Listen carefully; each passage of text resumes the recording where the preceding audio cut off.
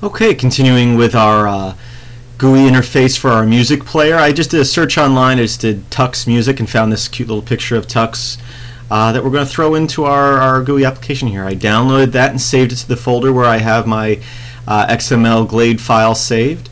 Uh, I'm going to choose image here and add an image to this empty container we have up here.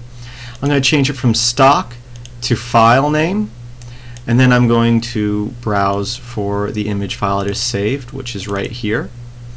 And you can see it kind of stretched everything out. If you don't want it that big you can uh, edit the picture in GIMP and make it the size you would like.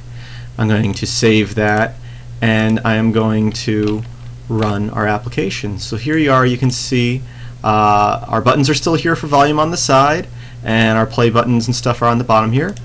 I'm gonna press play control the volume uh, now, we know that uh, if you look through the X XMMS2 uh, options, current, uh, what that will do uh, is print out the name and artist of the current song.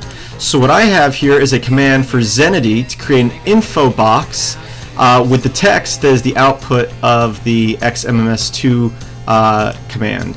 So the way we do that is exactly like that. Zenity inf dash dash info dash dash text and text equals and inside quotations we do dollar sign and then in parentheses the command that we want which is xmms2 current.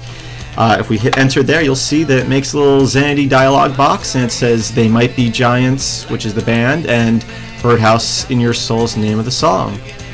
Um, so if we take that and we copy it, we can go into here and one of these empty uh, buttons we have, such as this one, we can go to Signals, clicked, and we can paste that command in there.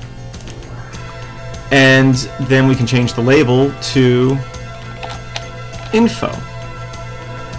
We will save that. We will close the window we have open.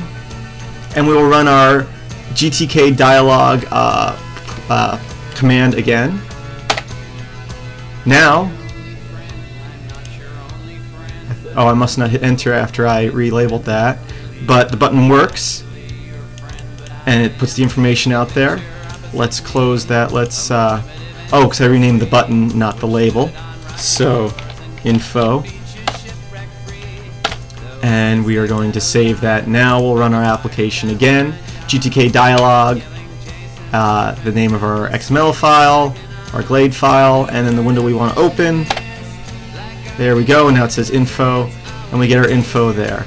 Now you'll notice that when I do that, as long as that little info window is open, our application doesn't work anymore because it's locked up. Uh, so what we're going to do, it caught up after I closed that window, we don't want that. We want that window to open up and we want it to um, our music player to keep working even though that's up.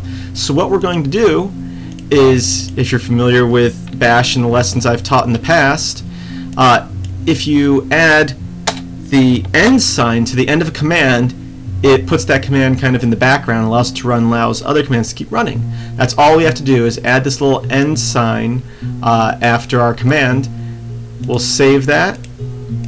We will run our GTK dialog again now if I hit info, the info box comes up. That song doesn't have a name or anything, but